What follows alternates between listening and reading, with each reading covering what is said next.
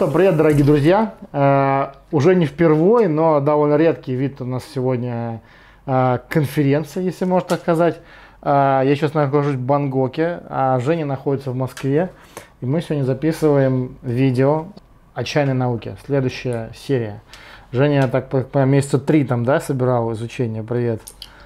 Да, да. Мы, у нас есть новые данные про чай и здоровье. Вот, так что, да, чай здоровья, присаживайтесь поудобнее, будет интересно. Сегодня у нас онлайн телемост. Ну что, да. Жень, с чего начнем? А, э, сегодня у нас, э, сегодня мы разберем, как вода из чая влияет на здоровье, то есть как чай путешествует по организму, весь его путь угу. э, проследим, соответственно, посмотрим, как э, усваиваются, как влияют на наши организмы кофеин и эльтианин и другие компоненты чая. И э, разберемся, как работает чайная медитация, как она может людям помочь в жизни.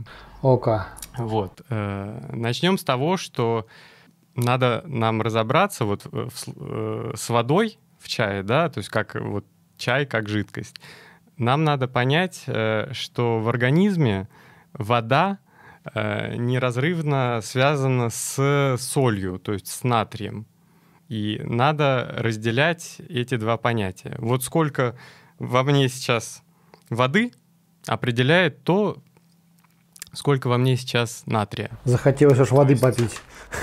Э, когда мы пьем воду, мы вот с, с одного конца мы вот такой объем воды загрузили, с, другой, с другого конца такой же объем, грубо говоря, из нас вышел, если мы не изменили количество м, соли. Но почки могут вывести только воду вместе с натрием. То есть у нас э, в организме такой механизм, что клетки управляют, куда идет натрий, и вода следует за ним. И вот смотрите, что происходит, когда мы э, пьем чай. Э, в чай, чай мы завариваем на любой воде, на э, хоть на дистиллированной, хоть на родниковой, это не так важно. То есть мы растворяем компоненты чая между молекулами воды. То есть вода от этого никак вообще не изменилась, та же самая H2O. И мы это все дело э, проглатываем. Оно попадает в желудок по пищеводу. Пищевод у нас э, вакуумно-плотный, то есть каждый глоток, который мы делаем, э, пищевод захватывает в такой маленький комочек и именно что прокатывает его вниз от глотки до желудка. И за это отвечают э, гладкая мускулатура кишечника, то есть пищевода. Он попадает в желудок и дальше э, попадает в двенадцатиперстную кишку и в тонкий кишечник. В основном у нас вода вся усваивается в тонком кишечнике. Вот все, что мы едим, пьем, а, вот. Но главное, Просто нам задавали вопросы про то, вот э, дистиллированная вода, можно ли, когда мы растворяем в ней только магний там или кальций, и ну да, является ли она полноценной, как бы, потому что, да, основной был да, такой нужно вопрос. ли был, там что-то еще? То, что мы там присаживаем какие-то дополняем минералы, да, но природная вода, она гораздо более богата по своему составу. Вот, вот. И оказалось то, что э, натрий, натрия в обычной воде очень мало. То есть даже в жесткой воде. Я специально посмотрел, ну, не знаю, насколько это корректное сравнение, посмотрел э, анализы воды водопроводной московской, угу. э, которую мы там в клубах делали, я у себя дома делал анализ. Э, 16 миллиграмм на литр. Это, вот смотри, э, в день взрослому человеку нужно примерно полторы тысячи миллиграмм натрия. Ух ты, это сколько надо на соль? А? Это ж сколько надо ну, понимаешь, выпить. да? Да. Надо выпить, э, чтобы пополнить э, именно по натрию э, из воды нам надо будет выпить в день всего лишь 94 литра. Ну, вообще ерунда, подумаешь. Ну, как бы каждый день так Каждый делаем. день обычно так и пьем. Ерунда. Да. Вот. И оказалось то, что э, в основном натрий мы восполняем из пищи, то есть не из воды вообще. Оказалось то, что вся, э, вся вообще пища, вот в ней отдельно содержится H2O, и весь H2O, который мы потребили, то есть все клетки, там, я не знаю, фрукты, овощи, макароны, пельмени, все, что содержит так или иначе влагу, вся эта H2O считается за чистую H2O. Это мы отставили в сторону. Вот это отдельно мы пополнили воду. Но из той же пищи мы берем натрий, то есть мы его берем не из воды. Вот эти полторы тысячи миллиграмм мы восполняем из пищи. И получается, что если мы возьмем в пересчете на соль, вот э, молекула соли это натрий хлор. Натрий по весу в этой молекуле э, занимает 40%. То есть, э, ну, там надо умножить, по- поделить на 0,4, в общем, получается, грубо говоря, если мы голодаем, вот если у нас голодный день, да, и мы только пьем, соответственно, нам надо за счет соли восполнить, нам надо будет положить там 3-3,5 грамма соли. Вы понимаете, то есть какая разница между 16 миллиграммами на литр Мгм. и тремя граммами соли, э, Ну, которую мы, например, э, пищу солим. Ну и, соответственно, натрий содержится еще во всех остальных продуктах в разном соотношении. Ага. То есть оказалось то, что вот э, нам надо именно солевой баланс поддерживать в организме, не просто пить воду. То есть вот эти вот все рекомендации насчет того, что там 2 литра или 3 литра, а если мы будем просто пить чистую воду, мы будем вымывать натрий, потому что почки выводят только воду с натрием. Они, сами почки, соленые, и они, когда надо, очистить кровь, они выводят всякие, всякую, ну, как бы метаболиты наши, да, продукты Понятно. жизнедеятельности. Почки выводят вместе, ну, выводят соль, а вода вместе с этими метаболитами следует за ними. И, соответственно, нам надо каждый день не просто пить 2 литра, а, во-первых, пить столько, сколько нам комфортно, Мгм. и восполнять натрием. Тогда организм будет э, удерживать соль. Например, э, алкоголь, он э, обезвоживает, то есть организм усиленно начинает выводить продукты распада и теряет натрий. Это причина, по которой на утро э, мы обезвожены. И нам надо э, не просто воду, да, а именно воду с натрием, электролит э, выпить. Это причина, по которой рассол действительно работает. Понятно.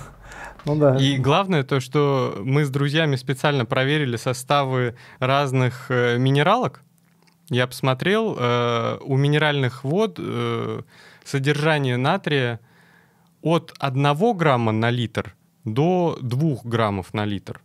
То есть вот вдумайтесь, чтобы пополнить обычный наш повседневный запас натрия, 1500 это бутылочек 3 надо. литра минералки. То есть мы не говорим про обычную воду, про водопроводную, про там, я не знаю, родниковую. Натрия нужно столько. Это самый большой э, макроэлемент. То есть натрия нужно э, матрий, натрий к калию, к кальцию, к магнию. Смотри, Сереж, э, Мгм. магний единичка, Мгм. кальций двойка, калий четверка, а натрий восьмерка. Вот в такой пропорции они у нас содержатся в организме. То есть натрия нужно больше всего. И 3 литра минералки нам нужно, ну как бы просто каждый день. То есть э, нужно не просто пить минералку после вечеринки, а просто нужно посолить стакан воды. То есть А лучше не ходить на требуется- такие вечеринки, где нужно пить алкоголь, и пить хороший чай. Слушай, Да, ну так а вот, возвращаясь а к вот чаю. смотри, Ага. А чай и, например, кофе, они э, это слабые диуретики. Мгм. Диуретик это э, напиток, который, ну, жидкость, вещество, которое увеличивает объем мочи. А, соответственно, ну, если моча вырабатывается вместе с натрием, то есть мы начинаем терять натрий. Угу. То есть в этом смысле как бы э, там очень хитрый механизм. Вот мне очень понравилось в нем как бы разобраться, потому что с одной стороны мы вроде бы пьем, например, я пью вот литр чая, да? Угу. Я вроде загрузил в себя литр воды, а по факту э, этот же чай, компоненты из чая, кофеин, например, увеличил объем мочи. Я как бы да воды H2O, тот, что вот я говорил, да, H2O мы загрузили в организм, Угу. А соли не загрузили. И это значит то, что э, в целом э, люди, которые пьют каждый день чай, у них в целом должно быть полегче с солеными продуктами. То есть у нас очень соленая вся пища. Ну, то есть если мы это не контролируем, в основном там во всех э, кафе, ресторанах, как Ну да. угодно, э, достаточно много соли содержится. Перебор. Но нам это будет не Вот. перебор, если мы пьем много чая, правильно? Ну да, то есть чай просто помогает с этим. И надо понимать то, что если мы съедим слишком много соли, то организм в этот день не выведет тот объем воды из организма, ну вот э, тот объем воды, который он обычно выводит. Почему, э, например, могут мешки под глазами появиться? Это от того, что клетки нашего организма буквально увеличились в размере. Они держат в себе эту воду. Угу. То есть, э, и это же причина, например, по которой на марафоне э, нельзя спортсменам там э, давать э, просто чистую воду, потому что мы э, с потом, ну, пот, опять же, организм выводит натрий, вода следует за ним. Соответственно, спортсмен на марафоне теряет воду с натрием. Если он просто будет, теряет он воду с натрием, а если он будет просто пить чистую воду, я не знаю, э, я марафона не бегал, но, возможно, он закончит марафон в больничке. То есть надо э, именно во время таких нагрузок пить электролиты.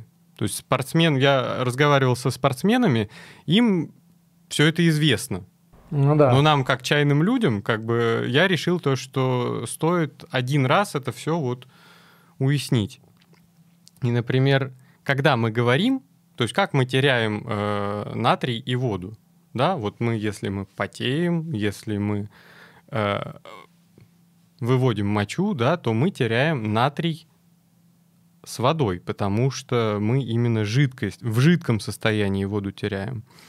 А когда мы говорим, мы теряем... Вода испаряется у нас изо рта. А Так, то есть, испаряется когда она- ты и говоришь, и то есть тоже получается самое. То есть даже Да, просто вот. все, все, все жидкость. Ну, у нас э, две трети веса клеток это жидкость. Мгм.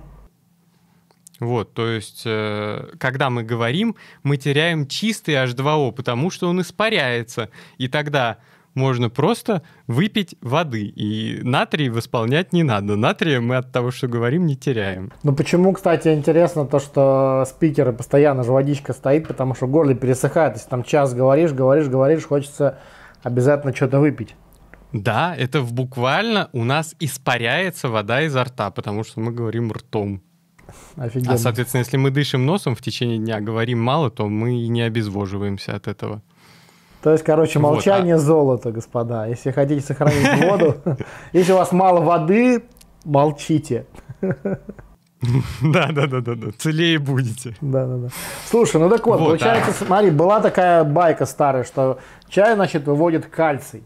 Ну, то есть это ерунда. Чай выводит натрий. Ну, то есть чай ничего не выводит, на самом деле. Натрий просто выходит, потому что мы пьем воду. И поэтому для того, чтобы натрий не терять, если мы пьем много чая, нужно есть соленую пищу и восполнять себя натрия содержащими продуктами. Я Правильно тебя понимаю? Ну, да, то есть можно, скажем, прям вот специально пересаливать не надо, но, возможно, э, людям, которые пьют много чая, стоит чуть-чуть больше подсаливать. Вы, вы это должны сами для себя посмотреть, как вам больше нравится. То есть чуть-чуть можете несколько дней чуть больше подсаливать. Если вы себя чувствовать будете лучше от этого, значит... Э, а как недостаток значит, натрия вы... сказывается на самочувствии? Есть ли какие-то да. симптомы? Как это выглядит? Э, натрий... Э, от него будет на самом деле в основном слабость, потому что натрий участвует в активации скелетных мышц. Угу. Вот оказалось то, что гладкая мускулатура кишечника, угу. она управляется не через натрий, а через кальций. Соответственно, если у человека дефицит кальция, а как мы это вот в прошлый раз про воду обсуждали, да, э, дефицит кальция это если дефицит витамина D. Угу. Если у человека высокий витамин D, кальция будет в организме достаточно, он просто будет усваиваться из всей еды гораздо лучше.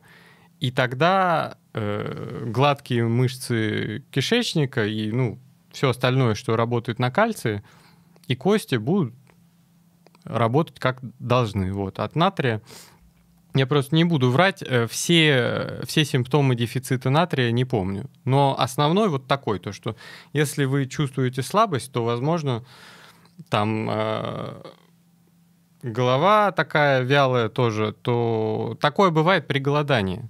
Угу. То есть э, я, я практикую голодание один раз э, в неделю по воскресеньям. И, соответственно, раньше я специально выбрал воскресенье, потому что если ты просто это делаешь на, на воде, на чае, на ну, без соли, я это не знал раньше. Вот я разобрался, и оказалось то, что да, действительно, хотите голодать, просто соль, не, да, не надо забывать про соль про электролиты. Есть В смысле, надо со со со солить, солить воду, которую ты пьешь во время голодания, ты хочешь сказать? Да. То, это делаешь да. голодание ну, а с водой, как? потому что некоторые делают голодание сухое вообще, там, и как? Вот про сухое я не знаю, в сухом не разбираюсь, честно. Вот э, в мокром голодании разбираюсь. То есть э, факт в том, то, что ну, организм выводит мочу, ему надо чистить кровь, чистить кровь ему надо все время, и только если вода есть, он может в этот объем э, выделить эти метаболиты понимаешь? Ну да, если ты воды то не потребляешь, то получается ты как бы организм на метаболиты не даешь уводиться. Я правильно тебя понимаю? Ну, фактически ты обезвоживаешься. То есть, э, возможно, в сухом голодании есть какая-то польза, но я механизма не знаю, поэтому я ничего не могу сказать. Угу. Вот. Но просто вот чтобы, чтобы понять, как работает вода, э, есть очень хороший пример. Мне он понравился мы оставим материалы. Я сделал целый плейлист на 30 видео. Они, правда, на английском языке все, но на можно с субтитрами посмотреть. Вот просто э, супер подробно, если вам эта тема интересна, вы разберетесь. А, принцип такой, вот почему морские рыбы не выживают в пресной воде и наоборот. Чтобы понять э, принцип, смотрите, рыба, которая живет в морской воде, она живет в очень соленой среде. И у нее, конечно, не такой же солевой баланс в организме, но она приспособлена к выживанию. Все ее вот э, натриевые каналы, они э, приспособлены к тому, чтобы выживать именно в такой концентрации соли. Если морская рыба попадает в пресную воду, Внутри рыбы много соли, снаружи мало. Что происходит? Рыбу распирает, и она умирает от отека. Ага. Потому что вода, воду не остановить. Вода идет в клетки за солью. Причем это пассивный транспорт, так называемый. То есть для этого не требуется никакой энергии. Она проходит насквозь через клеточные мембраны за натрием. То есть организм управляет тем, куда ему надо выделить воду, тем, куда он выпускает натрий. Вода сама за ним идет. То же самое прес, э, пресноводная рыба в соленую воду, когда попадает, а в рыбе мало соли, в воде много, и рыба умирает от обезвоживания, потому что вода выходит из рыбы в воду, и, а рыба не приспособлена, у нее все клетки Офигеть. ну, высыхают буквально, несмотря на то, что она в воде. Удивительно. Возможно, это, кстати, одна из причин, почему ну, морскую воду пить нельзя. Потому что это очень быстро приведет... э, Ну, к обезвоживанию, получается, да. Высыхаешь. Ну, ну да, да. Ну, если так подумать, то, по, по идее, мы должны перегрузиться натрием и перестать выводить э, воду. В Давай общем, не будем скорее всего, это будет Давай про Не будем чай. спекулировать, да, про морскую воду. Э, главное, что еще хотел рассказать про, про воду. То есть вот этот принцип мы усвоили, да, то, что вода идет за а, солью. Мгм. И это причина, по которой, например, растения впитывают э, воду. Вода, которая падает с неба дождем, она пресная. А в корнях есть натрий. И вода идет внутрь корней. А если есть прибрежные районы, где тайфуном именно объем морской воды заносит на сушу, то получается почва соленая, и вода выходит из растения. И растение, опять же, умирает от того, что высыхает, оно теряет воду. Вот такой принцип. То есть важно баланс соблюдать. И конкретно чай нам помогает, э, скажем так, пред- предотвращать образование камней, песка в почках, потому что, ну, чай это слабый диуретик, и он, соответственно, и воду дает, и увеличивает объем мочи. Соответственно, там не происходит застоя. Это то, что делает чай за счет кофеина. Вот. А конкретно как, э, как это работает в организме, у нас в мозге а, есть э, отдел, э, где нейроны чувствительны к растяжению. И вот когда мы... э, Это вот отдел, который определяет э, обезвоживание. То есть он говорит, подсказывает нам, когда на- надо пить. Если мы потеряли воду, соответственно, эти клетки, эти нейроны теряют объем, ну как бы сжимаются, да, и они говорят, нам надо больше воды. А, соответственно, больше воды нам или, в общем, натрий, натрий с водой надо добавить, и тогда э, организм удержит в себе больше воды. А если их, наоборот, распирает, то э, они говорят, надо воду выводить. Соответственно, воду надо выводить вместе с натрием. И такие вещи, например, как э, высокий инсулин при диабете второго типа, э, инсулин приводит к задержке натрия. То есть почки не выводят достаточно натрия, из-за этого у людей происходят отеки. Мгм. И натрий, э, чтобы, в общем, компенсировать высокое содержание натрия, можно калием. Потому что в организме э, вот все, где происходит обмен воды, да, куда-то вода двигается внутри организма, а, происходит обмен натрия и калия. Это называется натрий-калиевые насосы. Мгм. Если вам интересно, вот можете прям э, поискать в интернете натрий калиевые насосы, как, э, как они работают, чтобы я сейчас слишком подробно не растягивать. Вот как-то так. Слушай, вот А, про и чай. что? А? Про чай вопрос. Ну вот смотри, значит, мы э, поняли. Я думаю, что можно дальше не углубляться в эту тему, углубляться Мгм. те, кто захочет. Даже мне уже сложно. вот. Но я могу сказать, что смотри, э, значит, вот мы пьем чай. Я думаю, что самый практичный вопрос. Вот я пью чай, вот, значит, получается, что если в чае натрия мало, то я, значит, вывожу, получается, излишний натрий, ну, это больше натрия, чем надо, мо- могу вывести, и буду пить слишком много чая. То же самое можем сказать э, про воду, может быть, даже. Но чай даже в этом смысле больше, скорее, выводит. А как мы компенсируем это все? То есть мы что делаем? Мы компенсируем из еды только. То есть вот Солёная э, еда, я Что еще? Специально после, после предыдущего видео нашего я специально проверил насчет того, как усваивается а, вода и как влияет кальций и магний из воды. Оказалось то, что а, вот в районах, где у людей очень бедная диета, угу. где, я не знаю, там три блюда, я не знаю, хлеб и вода, есть такие, такие регионы есть, то есть угу. где люди вот так питаются, то есть у них очень бедная диета. Там действительно э, микроэлементы или макроэлементы, которые содержатся в воде, они влияют на здоровье людей. И в таких регионах, чем жестче вода, тем э, здоровее люди, ну то есть тем меньше они болеют.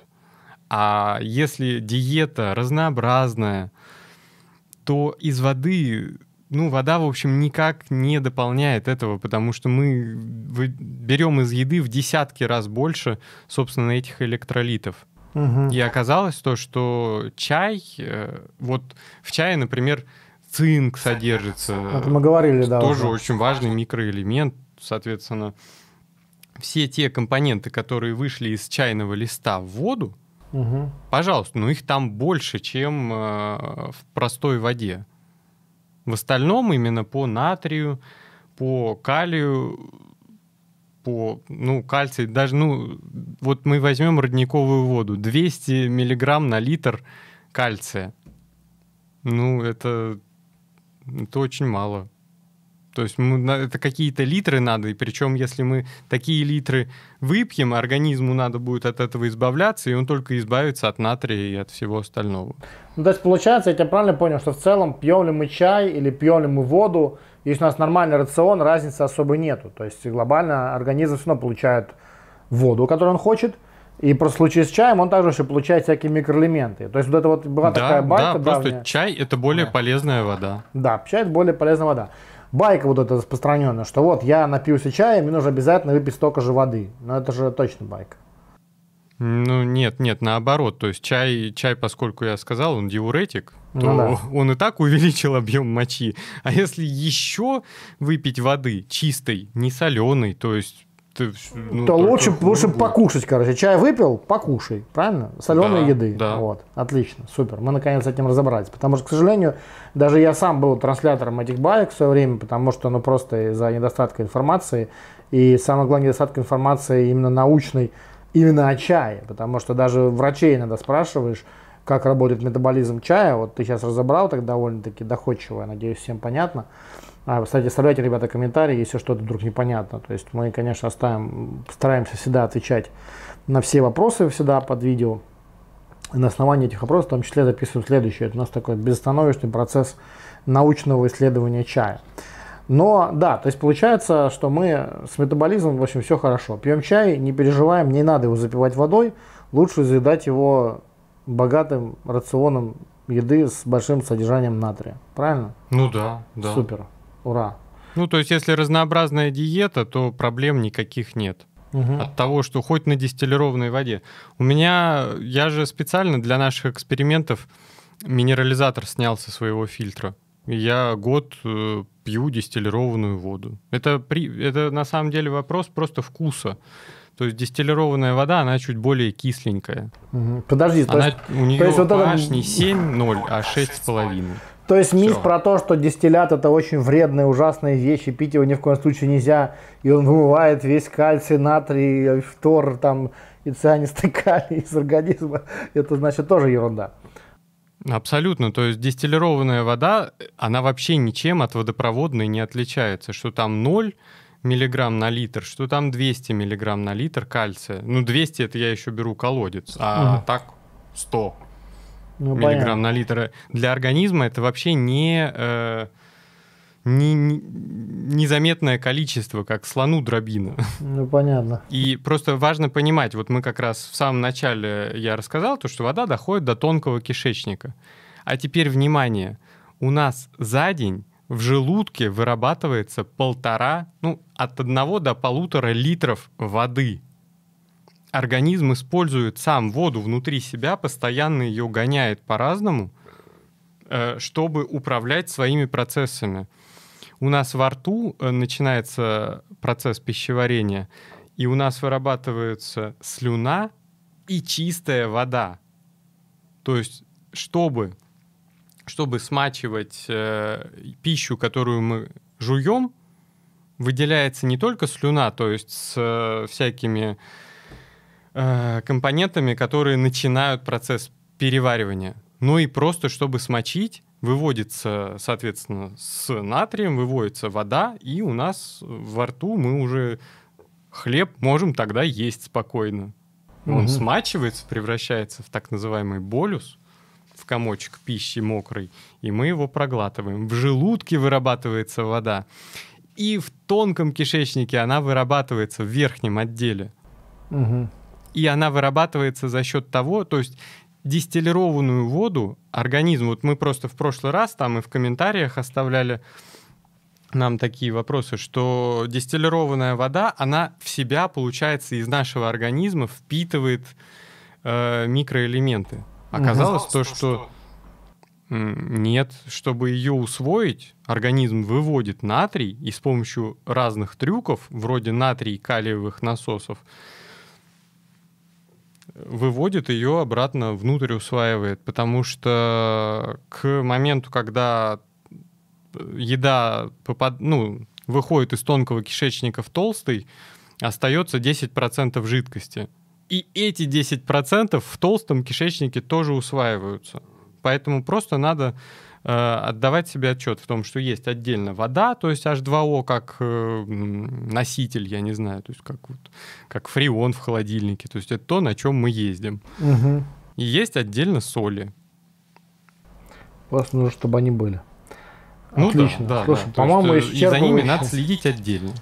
По-моему, исчерпывающее. Думаю, если кому-то что-то непонятно, ребята, оставляйте вопросы, мы разберем эту тему подробнее. Да, то есть, ну, на мой взгляд, это вот было важно просто уточнить, то, что организм сам воду вырабатывает, сам ее впитывает, и мы вообще можем жизнь прожить, так и не узнать про это, потому что все внутри происходит.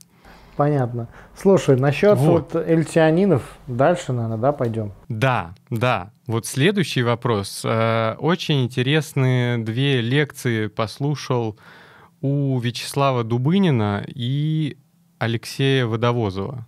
Угу. Нам на них ссылались. Э, и смотри, какая штука там.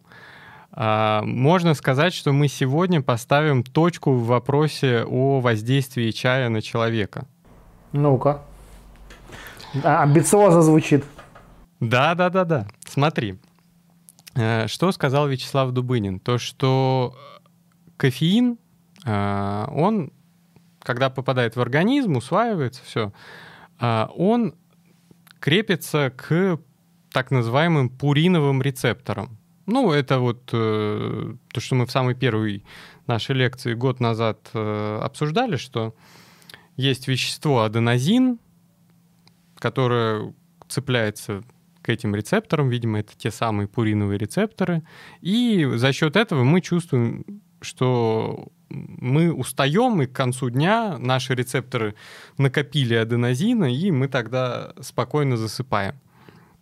Вот, а кофеин, соответственно, блокирует эти рецепторы, то есть это как э, замок э, заклеить э, жвачкой. Замок ага. кофеин не поворачивает эти, эти рецепторы. То есть дальше процессы мы не чувствуем усталость. Угу. Но аденозин плавает в крови. И оказалось что? Что пуриновые рецепторы у разных людей, э, разное количество пуриновых рецепторов есть в разных частях организма, на разных органах.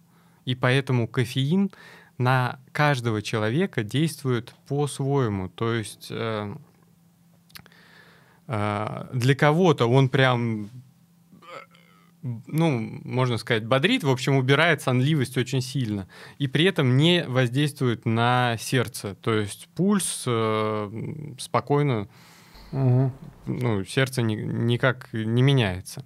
Э, а у кого-то наоборот не так сильно бодрит, но при этом сердце начинает колотиться как ненормальное, а у третьего, например, э, происходит раздражение желудка. То есть он прям чувствует, что э, как-то все там начинает крутиться и шевелиться.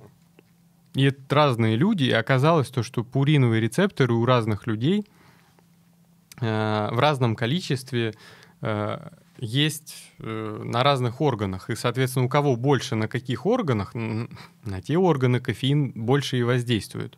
Понятно. А насколько и сильно вариативно? Что... Насколько это сильно а? вариативно? То есть это, смотри, то есть есть какие-то группы людей, там это как-то по полу, возрасту определяется, или это просто какой-то рандом вообще? То есть как это? Нет, это генетически, то есть ты никогда не узнаешь какие, вот пока ты не, не дашь человеку кофеин, и не, он говорит, кого-то кофеин расслабляет.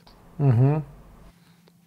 Ну, то есть, и, соответственно, в чае же кофеин это не единственный алкалоид. Угу. А я посмотрел, алкалоиды это очень широкая группа веществ, там у них даже классификация, классификацию как таковую построить не получается. Настолько это разнообразный класс веществ.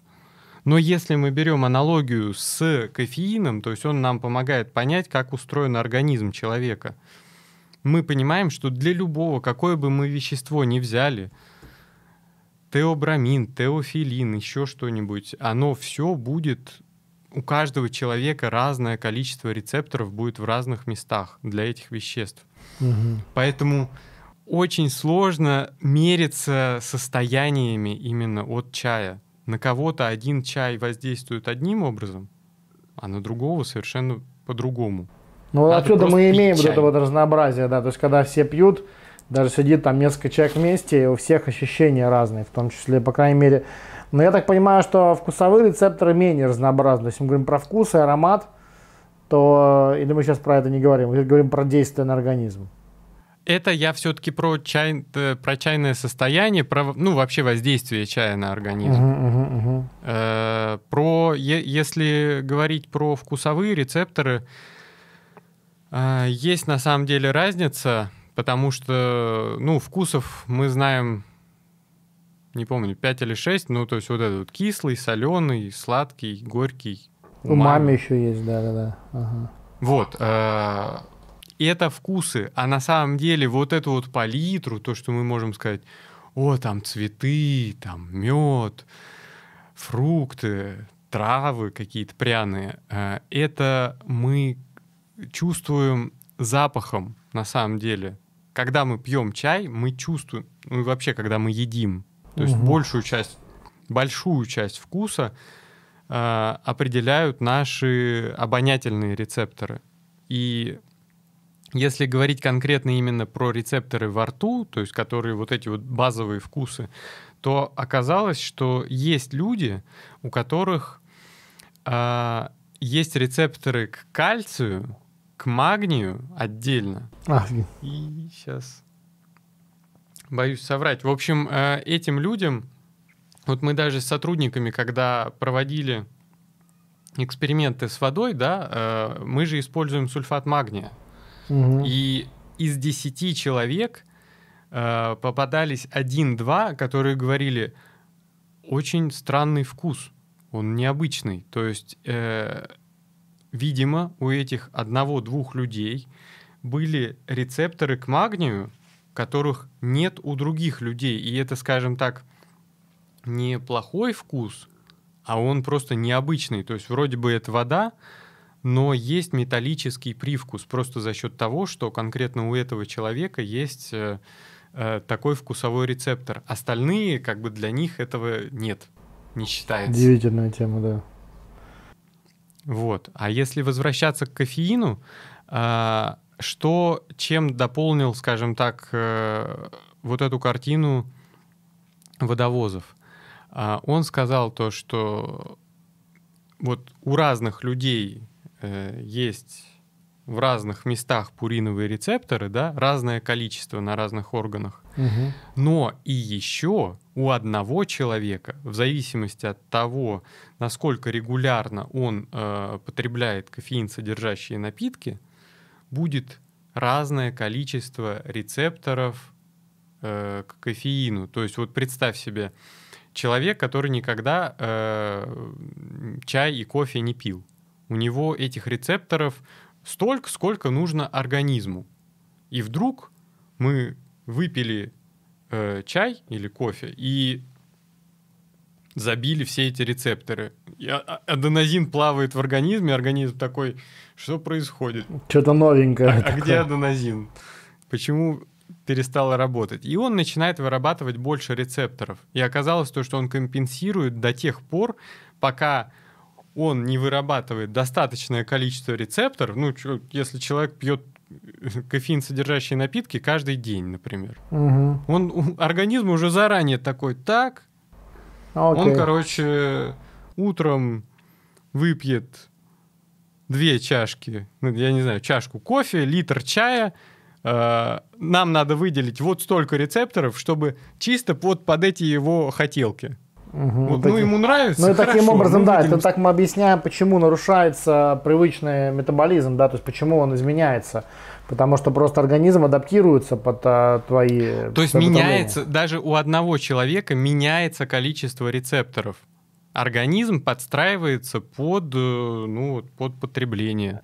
Ну, поэтому, и, соответственно... да, этим, этим легко объясняется то, что когда ты заменяешь чаи, опять-таки, да, меняешь состав этих самых вот всех алкалоидов, то есть там кофеин другой немножко в другом чае, в другом количестве, по-другому, в другом связан там, да, то есть получается ты организм таким образом, ну, даешь ему какую-то другую картину, которую он не знал, и он не готов к этому, и поэтому на тебя другой чай начинает резко действовать более, скажем так, э, пристально, прицельно. Да, да, да, да, да, однозначно, потому что в чае очень разный состав. То есть там надо понимать то, что в чае вот эти 3000 компонентов, э, на самом деле большая часть этих веществ, они находятся в следовом виде. То есть в основном в каждом конкретном отдельном случае по-настоящему на нас хоть какое-то воздействие может оказать, ну, 300-400 компонентов. Ну, мы говорили, да, много. про 450. Но Остальные не, не, все не осталь... заходят. Все остальное просто его очень мало содержится. Вот как я сказал, если для организма 100 миллиграмм на литр это мало, для, ну, по натрию это макроэлемент, там окей, там будут микроэлементы, но точно так же и все остальные вещества. Угу. Вот, и организм подстраивается под это. Ну, в разных чаях будут разные компоненты, поэтому разные чаи действуют на нас по-разному. Мы, кстати, скоро к этому перейдем, к этой теме. Ну-ка, ну-ка, ну-ка. И э, что тут надо понимать? Что вот, например, э, у меня я не испытывал никакого чайного состояния уже года три. Вот когда я начал пить 15 чаев в ротации разных сортов, разных степеней ферментации. Вот помню, когда мы попробовали впервые Чао Джоу Шуйсянь Чао-Ча. Угу. Ох ты, чао-ча тебе. это, это очень мощное, очень много людей после чао-ча почувствовали что-то новое. Ну вот, ты, теперь-то мы понимаем, откуда это берется. То, что в нем содержатся какие-то алкалоиды. Мы не знаем, какие. Понимаешь? Угу. Которые для организма, вот если сейчас вдуматься, как это работает, они, чтобы на организм как-то подействовать, эти вещества цепляются к каким-то рецепторам. Каким-то. То есть мы просто должны знать то, что есть вещества, есть рецепторы. И компоненты из чау-ча цепляются к таким рецепторам, которые у нас раньше, ну, другие чаи, короче, никак не, не воздействуют на них. И для нас воздействие этого чая новое, потому что это все равно, что э, показать кофеин человеку, который кофеин содержащие напитки никогда в жизни не пил. Поэтому такое яркое э, воздействие. Кстати, потом... интересно, интересная еще штука, извини, что перевел. Я замечал да. же тоже такое, знаешь, стремление к чайным миксам. Ну, то есть смешать там несколько разных сортов я периодически такое тоже таким грешу, он остается, знаешь, там несколько чаев там понемножку. Ну и которые по ферментации совпадают, или даже не всегда совпадают, но там какой-нибудь белый с шеном, и там какой-нибудь гуандунис туда добавить еще, или какой-нибудь там зелененький там чуть-чуть там, знаешь, или разные шены смешать, ну это вообще святое дело, там, или какой-нибудь красный чай с шупуэром, и туда что-нибудь еще какой-нибудь чао-ча добавить. Ну то есть абсолютно такие нецеремониальные, обездухотворенные подходы к чаю.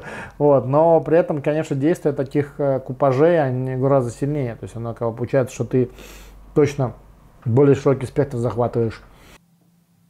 Ну да, да, да. То есть в разных чаях содержатся разные вещества, угу. они активные, то есть они а, просто в чае вещества сложного состава. То есть они, это не просто там, окей, вот если мы говорим там про какой-нибудь цинк, ну хорошо, цинк это цинк. А все остальное, кофеин, ну ты вот просто если вдуматься, что он имитирует аденозин, цепляется к рецептору, угу. блокирует закрепление аденозина, это сложный механизм. То же самое с остальными, потому что это вот фитонутриенты, так называемые, фито растительные вещества. Они с разным сложным составом, и они встраиваются в цепочки метаболические у нас в Я думаю, что это даже в основном еще и не изучено, потому что такое количество вариативностей э, воздействия, причем если мы к этому еще прибавим мало того, что это там сотни разных соединений, так еще и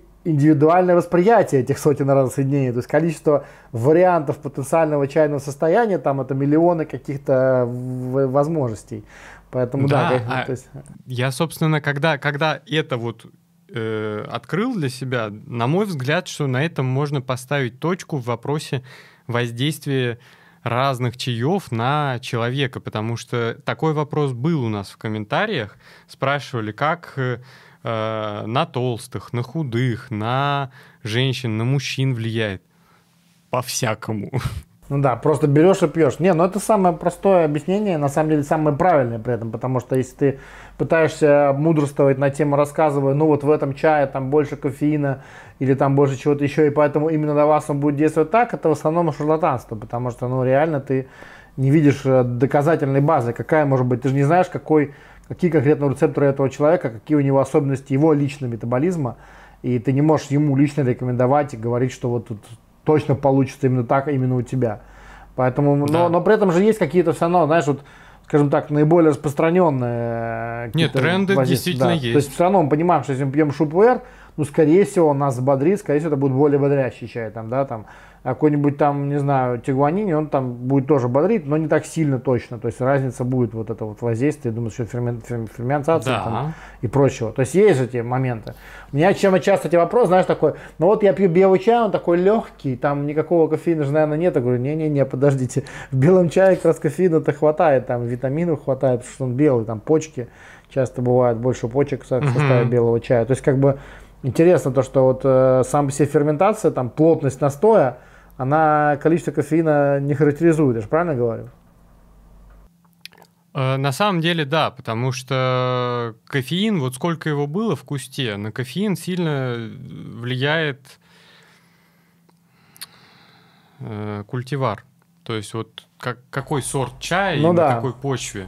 Ну, кстати, да, мы говорили, это старая тема, то, что, например, на юге, если брать только Китай, я не беру там другие регионы, но Южный Китай, там больше кофеина, потому что более богатые почвы, дерево мощное, там оно ближе к эндемичному региону, где оно произрастает, там, соответственно, оно такое более, сказать, независимое от какой, какой-либо деятельности человека. И оно, получается, дает uh-huh. больше кофеина, то есть там бывает в 2-3 раза в кустах разница по сравнению с какими северными культиварами. Uh-huh. Ну вот я могу э, немножечко приоткрыть э, завесу тайны, нам написал э, э, студент э, Герман из Австрии, который ага. провел э, исследование на 30 чаях. Э, это его была бакалаврская работа, но бакалаврская работа в Австрии, ну, мое почтение, 30 чаев он про, ну, измерил на масс-спектрометре. То есть, ну, то есть полный спектральный это... анализ сделал вообще всего, что там есть, правильно понимаю? Ну, не всего, там масс-спектрометр, вот какие компоненты конкретно ты измеряешь, те он и видит. Вот он измерял по пяти показателям, я просто... Э, мы, скорее всего, организуем отдельную встречу, позовем э, коллег из МГУПа, угу. Германа и сделаем созвон, чтобы он рассказал про свою работу, потому что она достаточно, ну, там прям Слушай, интересно. я думаю, это будет интересно. Это будет у нас такой микроанонс нашей следующей на серии «Науки о чае». Вот, да, это будет да. здорово. А, но вот что, что, наверное, уже сейчас можно сказать, то, что во всех 30 чаях было одно и то же, ну, практически одно и то же содержание кофеина, угу. кроме дяньхуна.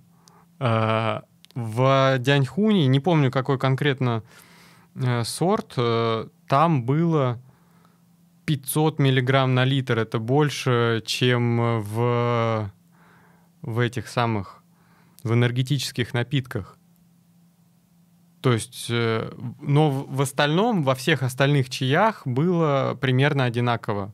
В зеленых, в красных. В насколько шукуере. скачок был, я прослушал, что ли? Я тебя слушал, но насколько разница получается там примерно? А, в остальных было 300, а в этом было 500 миллиграмм на литр. Ага. Это даст, ну, это ну почти в два раза, ну да, такое, серьезно. Да. В, да. 1,7 где-то. Ну да, это нормально. Ну это о чем, собственно, я только что и говорил, то что юнанские культивары, они как бы более мощные. Но интересно, а в остальных чаях там среди них были шупуэры, например? Там какие-то были, еще... Были, были. Примерно одинаково. Это было, кстати, это было неожиданно. Вот это, кстати, да, интересно, потому что, по идее, Днихун, он растет там же, где и Шупуэр. То есть это даже бывает то же самое кустовой союз. А вот, вот какой, какая разница в культиваре, очень ссложно сказать. Да, это интересно. Я вот сейчас, например, э, читал про эльтианин, вот мы как раз к этому сейчас перейдем. А, эльтианин есть, сейчас э, тебе скажу, анзи байча культивар. Угу. Да-да-да. А, это такие э, чайный, чайный куст, у которого очень бледные листья, то есть у них мало хлорофила. Да они такие прям почти белые, то есть это не почки белые, да? Наталис, я ну, знаю, я, я, я, я же много раз был на плантациях, где зибайча растет.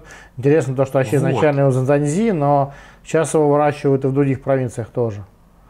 И что, и что ты думаешь, там э, эльтианина содержится э, 400 миллиграмм на литр. То есть прям много-много это тот самый культивар, из которого делают э, добавки с эльтианином. Да ладно. Ну вот просто, да, да, если... если Господа, пьем э... Анди Байча. Рекламная пауза, да. У нас, кстати, даже вроде есть еще. Я смотрел на сайте, э, когда-то он был, сейчас он в архиве, но, по крайней мере, я его нашел. Слушай, кстати, интересно то, что он такой, знаешь, еще он очень мощный по вкусу, в плане того, что он был прошлогодний, ну, собственно, он был в этом году пока еще не привезли его, и а, ну, ну привезем обязательно, он а, почему-то очень долго держит вкус. То есть вот его там прошлогодний год лежит, да, то есть если какой-то чай тускнеет, а некоторые uh-huh. зеленые, то андибача вообще вот лежит себе и лежит, и у него все хорошо. Может быть, из-за uh-huh. этого в том числе. И вот э, нам еще очень давно, кстати, не то что спрашивали, а может быть спорили Э, на тему того, сколько кофеина, как раз год назад видео это было, э, сколько кофеина содержится в чае.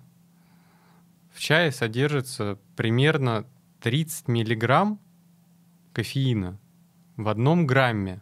Вот когда, когда мы пытаемся сравнить э, чай с кофе, надо вот понимать то, что в одном грамме чая примерно 30 миллиграмм кофеина. А Соответственно, если мы его пьем проливами, то мы практически целиком его экстрагируем. Вот я, например, кладу 10 грамм чая на 1 литр воды. Если я в термос себе наливаю литр, значит, я кладу 10 э, грамм. Соответственно, сколько там будет? 300 миллиграмм э, кофеина. Угу. Вот. А сколько а в кофе? Сколько в кофе? надо смотреть, сколько в кофе. Просто вот это вот ориентировочно. И 300 миллиграмм кофеина в день — это на самом деле э, показатель э, вполне себе здоровый. То есть в исследованиях было показано, прям 300 миллиграмм — это такая э, рекомендованная доза кофеина в день. Что ну, вот... то есть, если ты пьешь 5 литров чая в день, то ты типа так, ну, немножко выходишь из этой рекомендованной дозы, получается. Ну, да, все-таки это стимулирующее вещество, и слишком сильно увлекаться кофеином э, не стоит. Надо, надо смотреть еще тоже миллиграмм. на индивидуальный метаболизм, мне кажется, потому что ну, столько да. вот у меня было тоже примеров, когда я сам пил очень много чая там, или не пил его вообще, и в принципе нормально было. Хотя, конечно, такая интоксикация кофеиновая тоже имела место быть, угу. когда ты там пьешь 50 сортов чая там на трех заводах подряд. Помню, ну, да, да. Я помню, как я в Манхае там 20 километров пешком потом пошел, просто, чтобы просто как-то это В, а, Не это мог, не мог остановиться. Это как ста- старый запрос э, в Гугле, там, как сделать так, чтобы отпустила, пожалуйста. Да, да, вот это вот. А вот чтобы отпустила, эльтианин надо под рукой держать в капсулах. Ага. Кроме шуток. Ну-ка. Вот сейчас расскажу. Единственное, что хотел добавить. а, пока слушал лекции Вячеслава Дубынина и Алексея Водовозова, я боюсь, боюсь э, соврать, ну, в смысле, как их зовут. Алексей, кажется. А, что я заметил? То, что Вячеслав сказал, что кофе лучше пить во второй половине дня перед сном, потому что в первой половине дня э, у нас аденозина мало, блокировать нечего, и, соответственно, э, заряда бодрости особого не будет. То есть, но при этом-то, помнишь, э, в прошлый раз э, я ссылался на книгу Мэтью Уокера «Зачем мы спим?». Мгм. То есть вот Вячеслав Дубынин — это нейрофизиолог или нейробиолог, Мгм. а Мэтью Уокер — это человек, который тоже исследует мозг, но только в контексте сна. Мгм. Э, И оказалось то, что вот если человек исследует сон, то, на, на мой взгляд, э, стоит ориентироваться именно на его точку зрения насчет того, когда лучше э, пить чай и кофе. Потому Я что... с тобой соглашусь. Я вообще считаю тоже, что, ну, понимаешь, вот как бы, если мы говорим о точке зрения, как хорошо для здоровья или как хорошо для получения правильного эффекта. Если мы говорим о правильный эффект, да, может быть, вечером кофе будет там более идти, там, да, и чай тоже, потому что как бы у тебя уже там линозин, ты такой, там, а тут тебя оп, и все. Ну вот, да, но, да. но для здоровья это нехорошо. То есть вечером надо спать. Вот, потому что Если это хочешь спать, влияет иди на сон. спать. Если ты хочешь, не хочешь спать, не спи. И как раз Да. подпитать себя в работоспособном состоянии, мне кажется, это более разумно, чем напиваться чая перед сном, потом как бы себя, да, я такой взбодрился и ломать себе просто режим. Ну, такое, может быть, это, может быть, это нужно бывает иногда, там, да, там, по работе, там, еще чего-то, но точно не стоит себе это как правило вводить, мне кажется. Я тут согласен с тобой абсолютно. Ну вот, собственно, поэтому я считаю то, что на про рецепторы очень интересное дополнение, которого мало где можно вот, вот хоп, зацепился и решил обязательно тут же этим поделиться со всеми. А вот э, насчет все-таки кофеина, потому что Вячеслав сказал, что э, через 5 часов в организме остается всего 50% кофеина. То есть э, период полувыведения кофеина 5-6 часов. А Мэтью Уокер, когда эти вещи, он то же самое говорит, но только он рвет волосы на себе, говорит, аж целых 50% остается. Но вот есть э, разница- тут еще есть, знаешь, такое называется проф- профессиональное, это самое, э, как называется, overqualified, э, когда человек, когда просто ты, вот Ну просто да, да, ты да. видишь вот то, что тебя касается, знаешь, ты приходишь, например, к хирургу, он тебе начинает там, ну там вот это у тебя не то, это не это, то есть кому придешь, тот тебе то и найдет там, да, то есть э, именно поэтому нужно ходить к разным специалистам, именно поэтому нужно пить разный чай, и поэтому нужно вообще вот широкое мировоззрение иметь, если говорить там про какие-то текущие события. Например, когда вот это узкий, вот так Ну вот, да, вот да. ходишь к узкому специалисту, ты получаешь вот такой вот очень профессиональный или там очень крутой, ну вот так узенький вот источник информации, который Ну вот- абсолютно не охватывает остальные мультидисциплинарные какие-то вещи. А по сути сейчас, по-моему, вообще, ну ты как человек науки, э, понимаешь, что сейчас наука, она э, а только мультидисциплинарная может быть. То есть не может быть такого, что ты такой существуешь в вакууме, там изучаешь каких-нибудь своих, там, не знаю, инфузорий, да, и, и все остальное тебя вообще не касается. Как будто экосистема просто не существует, да, то есть так же нет такого, правильно? Ну, на самом деле, я могу просто уточнить, что наука сейчас, она э, на самом деле, вот если вы хотите разобраться в вопросе, то слушать надо разных специалистов. А Мгм. если вы исследуете что-то, то, к сожалению, сейчас наука настолько стала сложная, настолько каждое направление э, раздробилось, что вот если вы работаете в науке, то будьте готовы, ну, или вы хотите начать работать, собираетесь учиться на э, какую-то научную специальность, то работать вы будете в очень узком направлении, потому что э, каждое направление очень долго дробилось э, в течение ну, развития 20-21 века. И поэтому видите, как получается, Мэтью Уокер только сон исследует, и он говорит то, что кофеин влияет на глубокий сон, на РЭМ-фазу, то что, то, что лучше, чем раньше мы принимаем в течение дня кофеин, тем лучше у нас сон, тем лучше работает организм в исходном своем виде, то есть то, как он должен работать. Вот. И про, что... про эльтианин. Да, а теперь про эльтианин. А, помогал другу разобраться а, в том, как а, вылечить гастрит. Угу. Поскольку я в свое время... Мне очень сильно помог чай. То есть ничего, очень долго лечил, и в итоге Э, как раз когда начал пить 15 сортов в ротации, оно взяло и прошло. То есть я долго, ну, я как бы знал то, что вот э, это было именно явно, то есть вот это помогло, а почему помогло? Вот в прошлый раз я, например, год назад рассказывал про полифенолы, вот про катехины, угу. то, что они на самом деле усваиваются не нашим организмом, а бактериями в толстом кишечнике а, они нормализуют э, состояние, э, ну, профиль микробиоты, да, то угу. есть это пребиотики. Чай это пребиотик.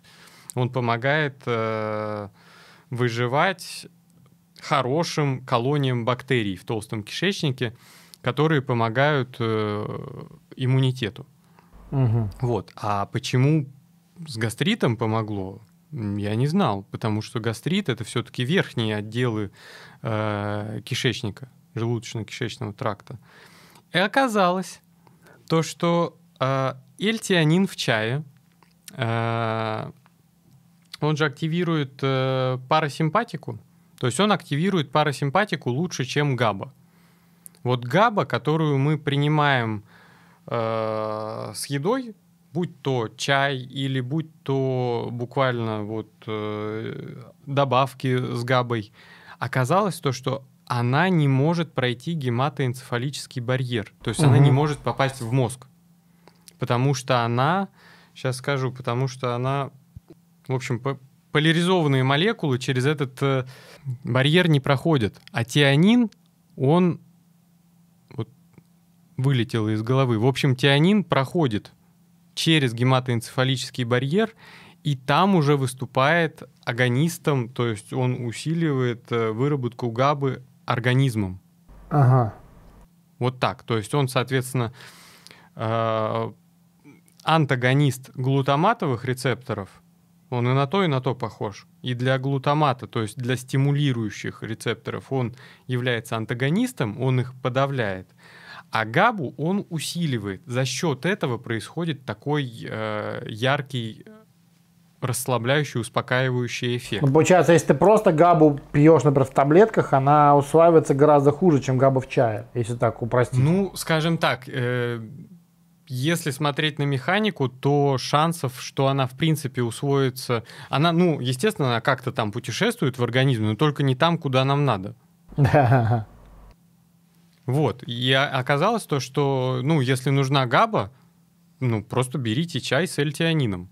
И габа будет. То есть, э, возможно, эльтианин есть и в чае, который ферментирован в вакууме. То есть в габа чае содержится эльтианин, и вот он действует. То Нет, есть, ну подожди, ну говорит, нам, же, нам же нужна габа или нам нужен эльтианин? Эльтианин. Чтобы выработать габу в мозге. А габа, которая в чае?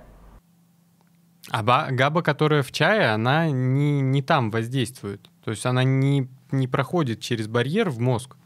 И не получается в мозге зацепиться за те самые рецепторы. А куда же она тогда проходит, если мы пьем габу, и мы чувствуем же эту разницу? Пока, я, я, ты пойми, я только из э, на основе того, что вот исследования какие, понимаешь, другое исследование будет какое-то более уточняющее, там механизм уточнят. На, Не, ну мне интересно момент... в том плане, что смотри, Жень, то есть как бы Да. Э, тема воздействия габы на организм чая, я говорю только про чай в данном случае, она как бы ну, до ночи муссируется.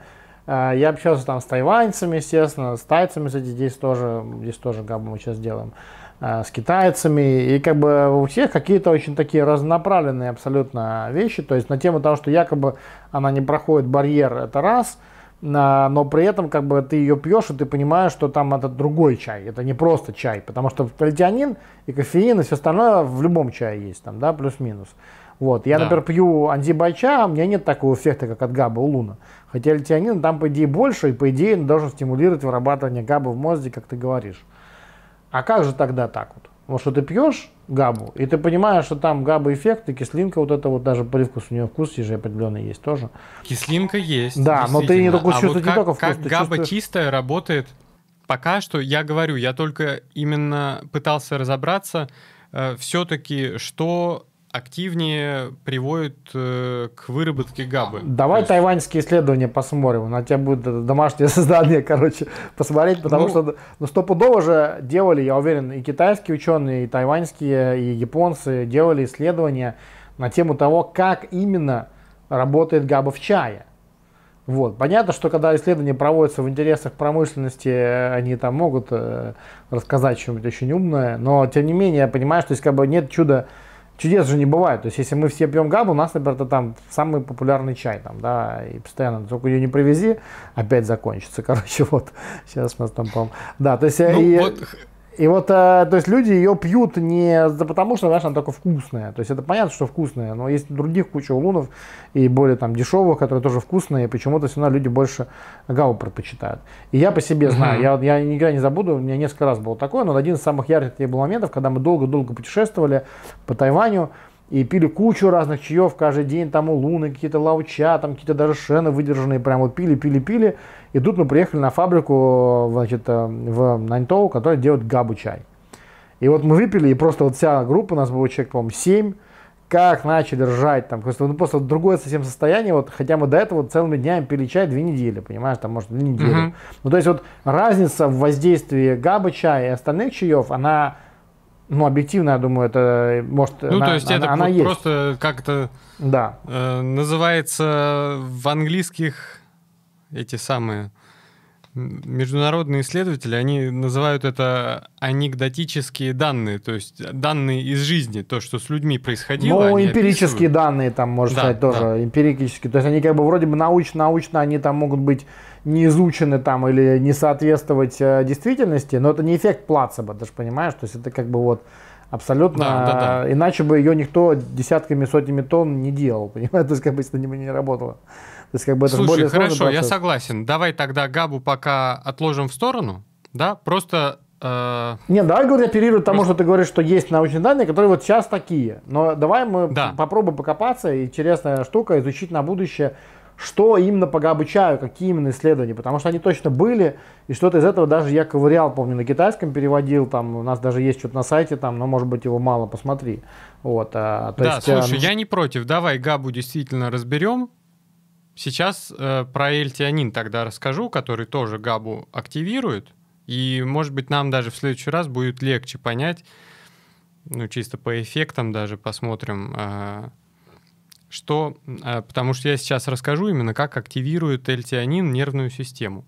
L-тианин, надо понимать то, что он активирует парасимпатику. Вот э, L-тианин, парасимпатика. Парасимпатика — это та часть вегетативной нервной системы, которая отвечает за расслабление. Есть симпатика, она отвечает за, э, так сказать, э, процесс «бей и беги», когда нам надо защищаться, когда что-то активное, то есть это скелетная мускулатура э, активируется этой частью нервной системы. Угу. А есть другая часть организма, которая активируется только во время расслабления. Ага. И э, парасимпатика, вот просто я сейчас перечислю, за что отвечает парасимпатическая нервная система. И мы поймем, как эльтианин из чая помогает людям. А, смотри, парасимпатика отвечает за всю гладкую мускулатуру кишечника.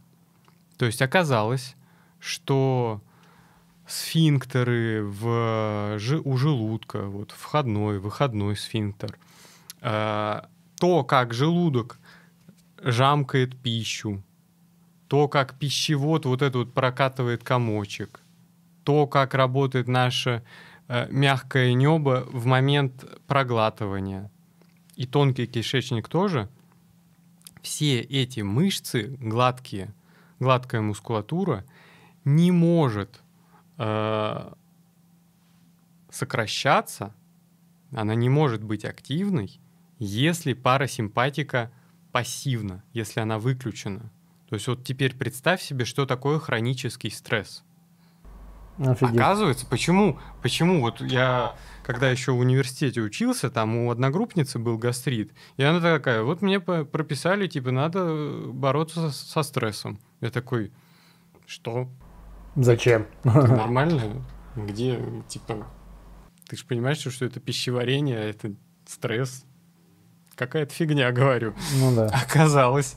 Ну, я просто на тот момент не знал.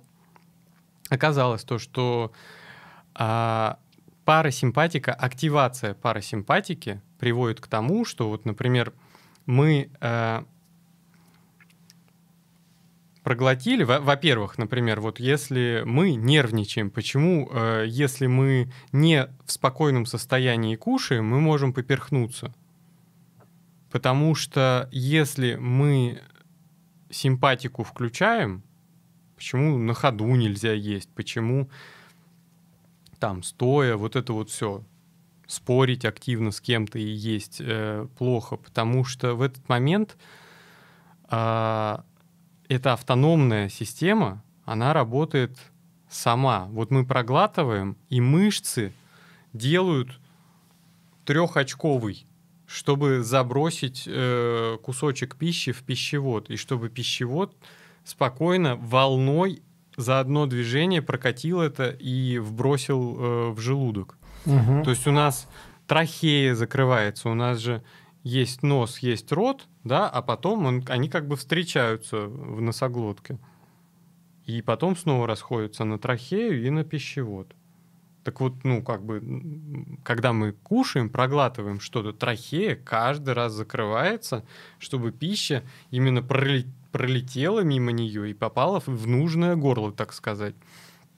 Поэтому э, можно, вот у меня, например, так бывает, если я не выспался, то иногда я могу поперхнуться, в том числе слюной. И это потому, что если мы не выспались, у нас парасимпатика сбоит, и вот эти вот все автономные процессы начинают хуже работать.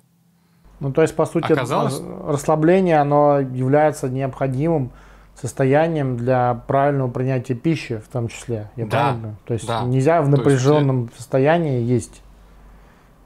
Правильно? Да, понимаю? то есть это просто не принесет пользу. И смотри, когда еда попадает в желудок, угу. она касается в центральном отделе, не помню, это называется бади, ну типа тело желудка, средний отдел, там есть нейроны, которых, если пища э, касается, они отправляют сигнал в мозг, это получается чувствительные, то есть сенсорные, да, угу. нервы которые датчики, как бы, которые просто контролируют.